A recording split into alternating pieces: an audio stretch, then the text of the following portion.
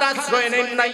তিনি হচ্ছেন সত্যবাদীদের অন্তর্ভুক্ত কথা বলেন, ঠিক না বা ঠিক আরও জোরে বলেন, ঠিক না বা ঠিক এ বাবারা, আমার বন্ধুরা, আমার মনে রাখেন এই কালিয়াপাড়াবাসী এই হাজিগঞ্জবাসী এই কচুয়াবাসী এই সাহারাস্তির বাসী মনে রাখবেন প্রত্যেকটা দেশের সরকার যখন দেশ পরিচালনা করে, ওই দেশের রাষ্ট্র রাষ্ট্রপ্রধান থাকে। ওই দেশের রাষ্ট্র রাষ্ট্রপ্রধানে রাষ্ট্র পরিচালনা করতে হলে রাষ্ট্রের বিভিন্ন আসনগুলি আছে। যে আসনগুলিকে সংসদীয় আসন বলা হয়।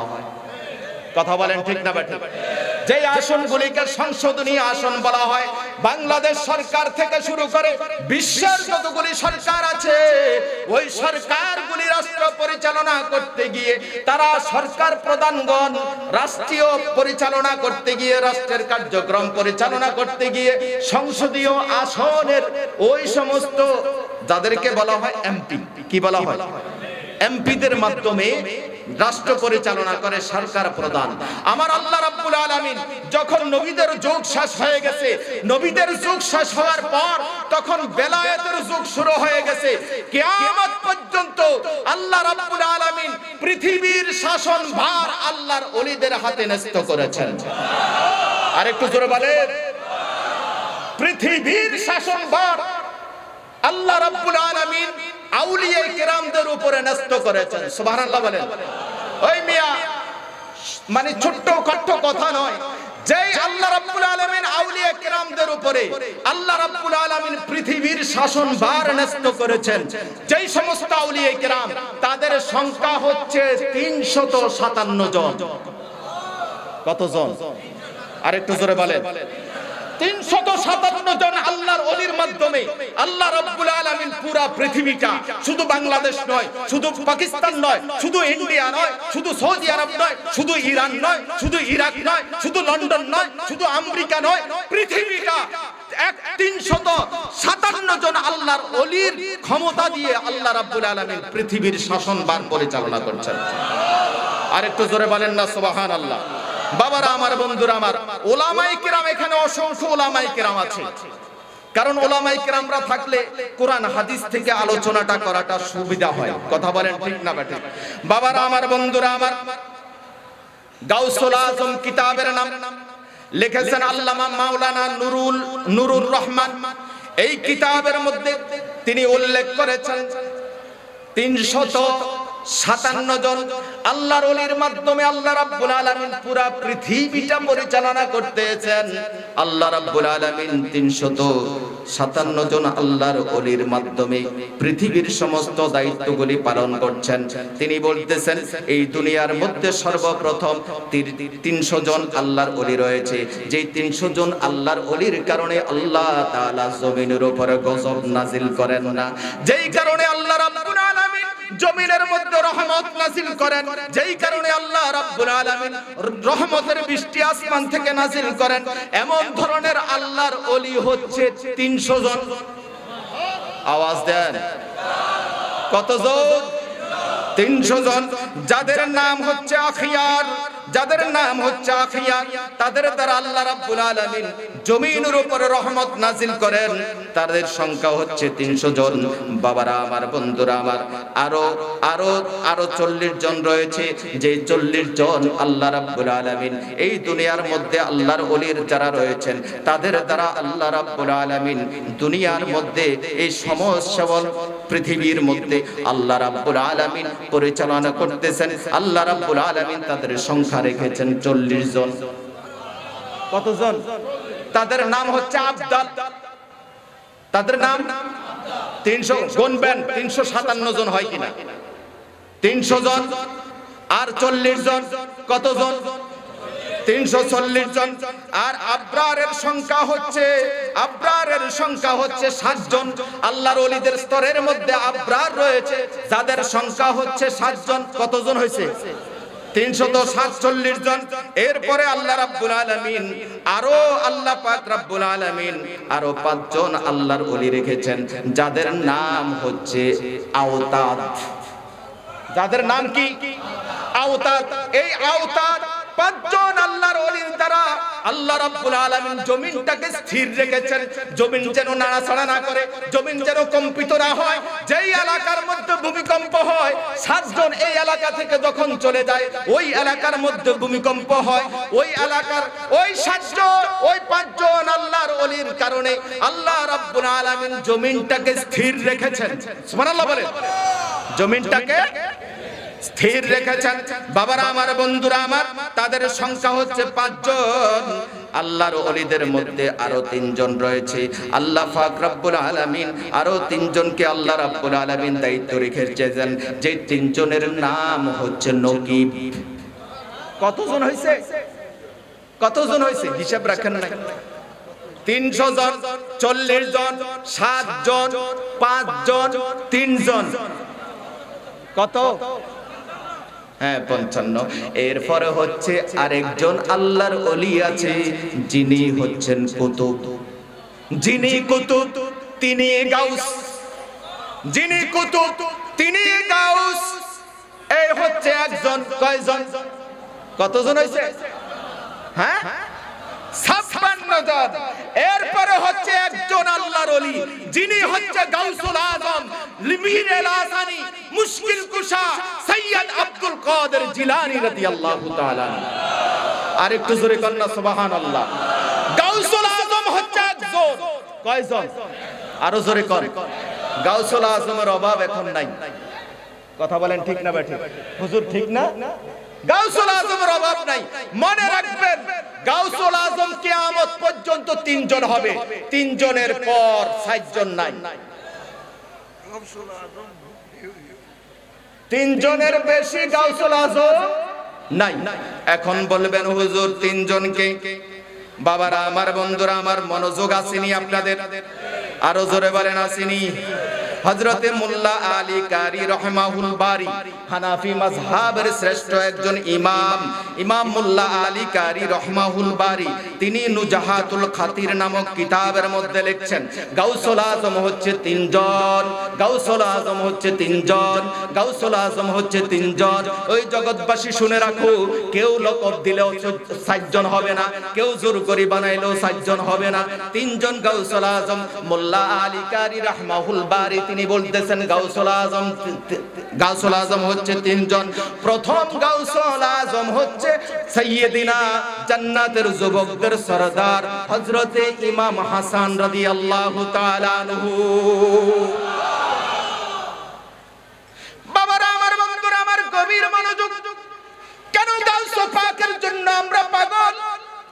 আমরা কেন গাউসু পাকের জন্য পাগল? আমাদের মুর্শিদ কিবলা কেন গাউসু পাকের জন্য পাগল হলেন? আমার বাবা জান মুফতি আল্লামা আব্দুর রবাল কাদেরী রাহমাতুল্লাহি আলাইহি কেন গাউসু পাকের জন্য পাগল হলেন? বাবারা, আমার বন্ধুরা, আমার দ্বিতীয় গাউসুল আজম হচ্ছে ইমাম হাসান রাদিয়াল্লাহু তাআলা আনহুর হায়াতের জিন্দেগি শেষ হওয়ার পর গাউসু পাক হযরতে বড় পীর আব্দুল কাদের জিলানী রাদিয়াল্লাহু তাআলা আনহু 470 অথবা 771 হিজরিতে দুনিয়াতে আগমন করার আগ পর্যন্ত হযরতে ইমাম হাসান আনহু ছিলেন প্রথম গাউসুল আজম। আর একটু জোরে না, সুবহানাল্লাহ। এ বাবারা, আমার বন্ধুরা, আমার গভীর মনোযোগ। এই দুনিয়ার মধ্যে অলি আল্লাহদের বিরুদ্ধে যেরকম বলে, আহলে সুন্নাত ওয়াল জামাতের আকীদার বিরুদ্ধে লোক আছে কি নাই? একটু জোরে বলেন, আছে কি নাই? দ্বিতীয় গাউসুল আজম হচ্ছে বড় পীর গাউস পাক আব্দুল কাদের জিলানী, রাদিয়াল্লাহু তাআলা আনহু 400 চারশত সত্তর অথবা একাত্তর হিজরির পহেলা রমজানে যখন দুনিয়াতে তার তাশরিফ আনলেন, প্রথম গাউসুল আজমের গাউসিয়াটা ট্রান্সফার হয়ে বড় পীর আব্দুল কাদের জিলানির মধ্যে চলে আসছে। আর একটু জোরে কন্যা, সুবহানাল্লাহ। বাবারা, আমার বন্ধুরা, আমার হযরতে বড় পীর আব্দুল কাদের জিলানী রাদিয়াল্লাহু তাআলা আনহু 561 হিজরিতে ইন্তেকাল করেছেন। তিনি ইন্তেকালের আগ পর্যন্ত তিনি দ্বিতীয় গাউসে পাক আর হযরতে ইমাম মাহদি আলাইহিস সালাম আগমন করার আগ পর্যন্ত বেলাইতি ভাবে রুহানি ভাবে হযরতে বড় পীর আব্দুল কাদের জিলানী হচ্ছেন দ্বিতীয় গাউসুল আজম আর একটু জোরে কন্যা সোবাহান তৃতীয় গাউসুল আজম।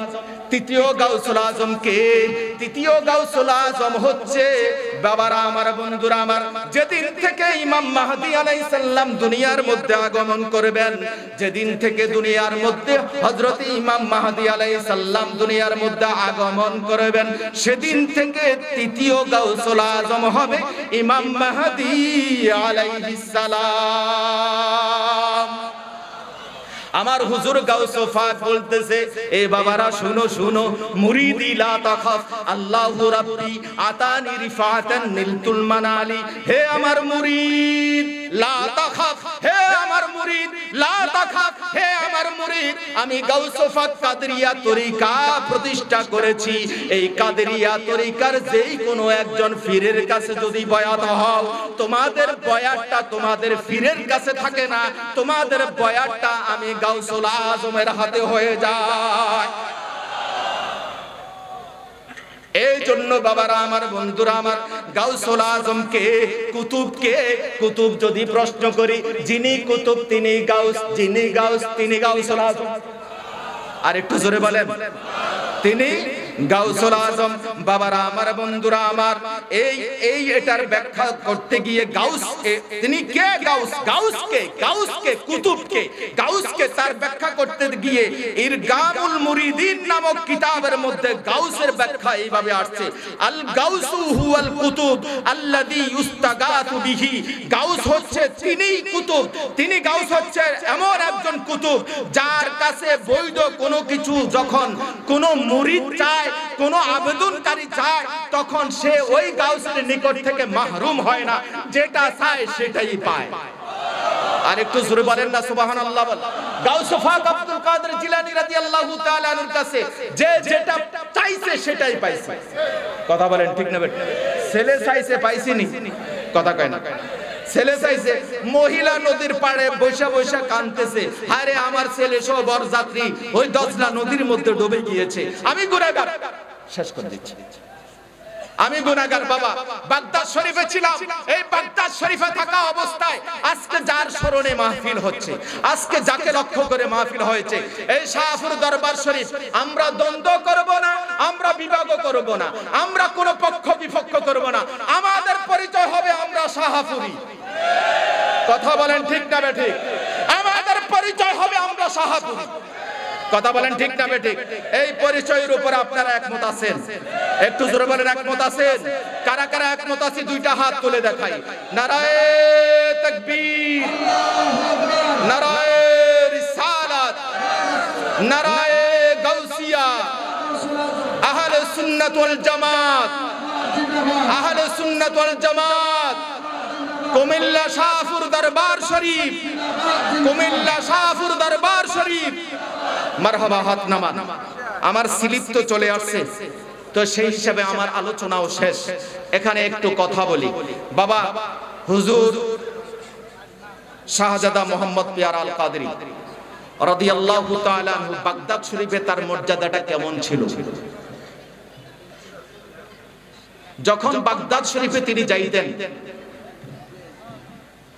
ইরাকের সরকার একজন মিনিস্টারকে যেভাবে সম্মান দেয় অনুরূপ ভাবে হুজুর শাহজাদা মোহাম্মদ পেয়ারা আল কাদরি রাদিয়াল্লাহু তাআলা আনহুকে সেইভাবে সম্মান দিতেন। রাষ্ট্রীয় সম্মান। রাষ্ট্রীয় সম্মানটা সেভাবে পাইতেন। আমার সাথে অনেকে একমত হবেন। আজকে যিনি মাহফিলের চিফ গেস্ট জামিয়া আহমদিয়া সুন্নি আলিয়া মাদ্রাসার অধ্যক্ষ। মুফতি সৈয়দ মোহাম্মদ ওসিউর রহমান আল কাদরি মাদ্দাজিল্লাহুল আলী। আমি বাগদাদ শরীফে থাকা অবস্থায় হুজুর সহ একটা কাফেলা আমাদের ওই যে এখানে মাস্টার সাহেব আছে প্রধান শিক্ষক লক্ষ্মীপুর হাই স্কুলের আমি দেখছিলাম। স্যার আছেন নাকি? স্যার একটু স্যার একটু এ মার্শাল্লাহ মারহাবা। ওই আমাদের মানে মাদ্রাসার আমাদের বিচ্ছি স্যারের সাথে বসা আছে। একটু দাঁড়ান স্যার স্যার একটু দাঁড়ান। স্যার একটু দাঁড়ান। আমাদের হুজুরের সম্মানটা বাগদাদ শরীফে কেমন ছিল? যখন হুজুর বাগদাদ শরীফে গাউসফাকের রোজা শরীফের ভিতরে ঢুকতেন। চারিদিক দিয়ে দুই পাশে লোক লোকগুলো দাঁড়ায় দাঁড়ায় থাকতো। আর বলতেছে যে বাংলাদেশি শেখায়া বাংলাদেশি শেখায়া বাংলাদেশি শেখায়া হুজুর স্যার ঠিক কিনা বলেন? বাংলাদেশে মানে হুজুরের জন্য রাস্তাটা ক্লিয়ার করে দিতেন। হুজুর গাউসে ফাকের রওজা শরীফের মধ্যে তিনি প্রবেশ করতেন। আর ওই হুজুরকে বাংলাদেশের মধ্যে আসার পর সেখানেই তিনাতকে যেই মর্যাদাটা দেওয়া হয়েছে, ঘোষণা করা হয়েছে, আমি গুনাহগার সেখানে ছিলাম। ঘোষণা করা হয়েছে, বাংলাদেশের মধ্যে কাদরিয়া তরিকার প্রধান। সুবহানাল্লাহ বলেন। কাদরিয়া তরিকার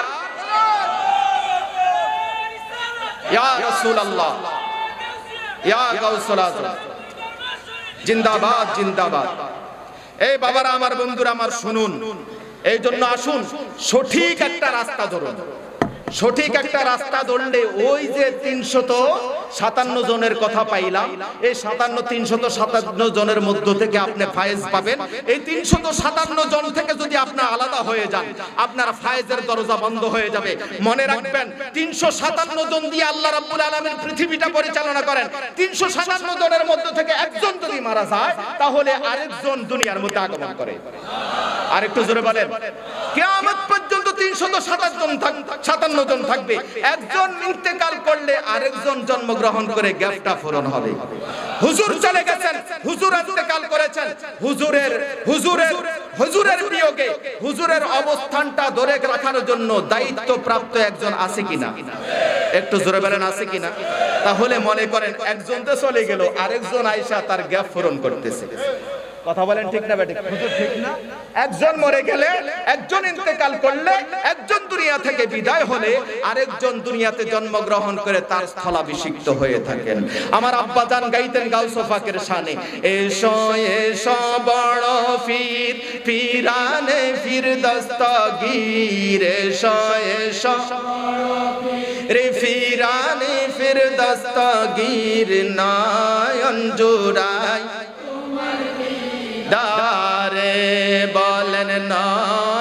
জোড়াই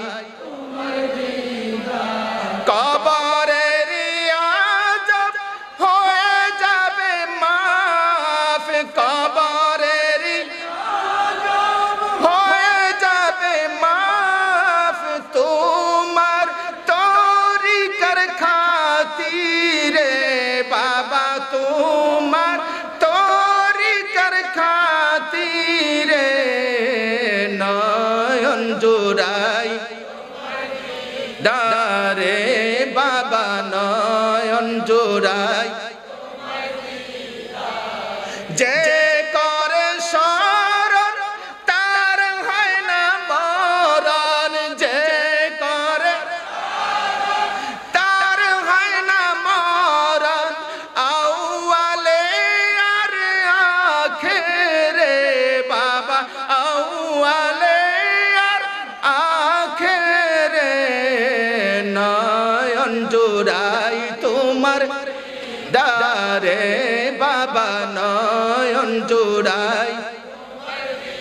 এসো এসো বড় ফির, ফিরান ফির দস্তাগির এসো এসো বড় ফির, ফিরান ফির দস্তাগির নয়ন জুড়াই।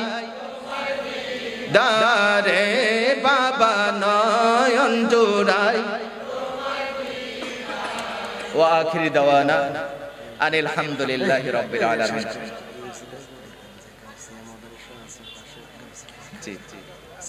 জি জি জি জি জি বলতেছি। জি বাবা শেষ তো করে ফেলছি। শেষ আপনাদের প্রতি আমার দুইটা দাওয়া যদি গাউস পাকের প্রেমিক বানাইতে চান। গাউস পাকের আশিক বানাইতে চান। আপনার সন্তানগুলিকে সহি আহলে সুন্নাত ওয়াল জামাতের আকীদায় রাখতে চান। দুইটা মাদ্রাসার ঠিকানা দেখছি। হাফেজ যদি বানাইতে চান, যদি সুন্নি আকীদার হাফেজ বানাইতে চান, আমাদের আমার আব্বা জান প্রতিষ্ঠা করে গিয়েছেন। এক নম্বর প্রতিষ্ঠান হচ্ছে নয়নপুর গাউসিয়া দরবার শরীফ। এই নয়নপুর গাউসিয়া দরবার শরীফের আওতাধীন নয়নপুর আফতাবউদ্দিন গাউসিয়া সুন্নিয়া হিফজুল কোরআন মাদ্রাসা। হাফেজ বানাইতে চান ছাত্র দিবেন। আপনার ছেলেটা কোনোদিন ওহাবি হবে না। আপনার বাবা আপনি বাবা হিসেবে আপনার আপনার সন্তান বলবে না আব্বা আন্নে বুঝেন না। আই আন্নের তাই বালা বুঝি। কথা কন কয় নেই এখন বলেনি? কথা বলে বাবা, আরেকটা প্রতিষ্ঠান আমাদের দরবার শরীফ পরিচালিত। এই যে বানিয়েছো আমার আব্বা জানের নামে, রব্বানিয়া হিফজুল কোরআন মাদ্রাসা। ওখানে দেন, না হয় এখানে দেন, যেখানে দেন, হাফেজ বানাইতে হলে আপনি সুন্নি প্রতিষ্ঠান হিসাব করে দিবেন, যেন আপনার সন্তানটা আপনার ইন্তেকালের পর মুনাজাত দেয়। কথা বলেন? জানাজার মুনাজাত দেয়। বাবা, কথা তো হুজুররা বলবে, ইনশাআল্লাহ। দুই নম্বর দাওয়াত হচ্ছে, যদি আপনার সন্তানকে একজন হক্কানি আলেম বানাইতে চান, গাউস পাকের প্রেমিক বানাইতে চান, তাহলে এই হোসেনপুর, গাউসিয়া, হাসিমিয়া, সেকন্দর আলী, সুন্নিয়া, ফাজিল মাদ্রাসা নির্বাচন করুন। একজন আল্লাহর অলি হয়ে বের হবে, গাউস পাকের প্রেমিক হয়ে বের হবে, একজন খাঁটি সুন্নি আলেম হয়ে বের হবে। আমি গুনাহগার এই প্রতিষ্ঠানের খাদেম হিসেবে রয়েছি। আমার হুজুর, আমার অধ্যক্ষ সাহেব, যিনি হচ্ছেন মুফতি আল্লামা রফিকুল ইসলাম এম এ আল কাদরি সাহেব, যিনি এই বাংলাদেশ আহলে সুন্নাত এ বাংলাদেশ ইসলামী ফ্রন্টের শাহরাস্তি উপজেলার সভাপতি, আহলে সুন্নাত ওয়াল জামাত, বাংলাদেশ এই কমিটির শাহরাস্তি উপজেলার সভাপতি, যার আওতাধীন এই প্রতিষ্ঠান পরিচালনা হচ্ছে, আমি খাদমতে নিয়োজিত আছি, ইনশাল্লাহ আপনার সন্তানকে এখানে নির্বাচন করবেন পড়ালেখার জন্য। ইনশাল্লাহ দিবেন তো? দিবেন? ইনশাল্লাহ ভালো ভালো শিক্ষক আছে। আমাদের কাউসিয়া মাদ্রাসার মধ্যে এবং আহলে সুন্নাত ওয়াল জামাতের পরিচালনায় পরিচালিত হচ্ছে। এখানে বাংলাদেশ ইসলামী ফ্রন্ট, ইসলামী ছাত্র সেনার, ইসলামী যুব সেনার কমিটি আছে ইনশাল্লাহ আপনার ছেলেটাকে যদি ইসলামী রাজনীতি বানাইতে চান তাহলে আহলে সুন্নাত ওয়াল জামাতের মতাদর্শে রাজনৈতিক সংগঠন বাংলাদেশ ইসলামী ফ্রন্ট ইসলামী যুব সেনা ইসলামী ছাত্র সেনার মধ্যে সে মানে যুক্ত হতে পারবে এটা একটা শান্তিপ্রিয় সংগঠন। কথা বলেন ঠিক না ঠিক আল্লাহ তাআলা কবুল করুক সকল বলে আল্লাহুম্মা আমিন। আসসালামু আলাইকুম ওয়া রাহমাতুল্লাহি ওয়া বারাকাতুহু। হযরত আমার আব্বা জান প্রতিষ্ঠা সম্মাননা প্রদান করছেন। শাহপুর দরবার শরীফের আরেক ভক্ত শাহপুর দরবার শরীফের বদরিশিন হুজুর কেবলার থেকে খেলাফত প্রাপ্ত হুজুরের সন্তানদের মধ্যে থেকে দ্বিতীয় সন্তান আমাদের অত্যন্ত প্রিয় ভাজন ব্যক্তিত্ব হযরতুল আলহাজ নুরুস নুরুস সাকালাইন সুবহানিয়াল কাদরি নুরুস সাকালাইন সুবহানিয়াল কাদরি এবিএম সাদিকুল্লাহ হুজুরকে মাল্য দিয়ে বরণ করে নিচ্ছেন। আমরা সকলে করোনা ওইদিকে ওই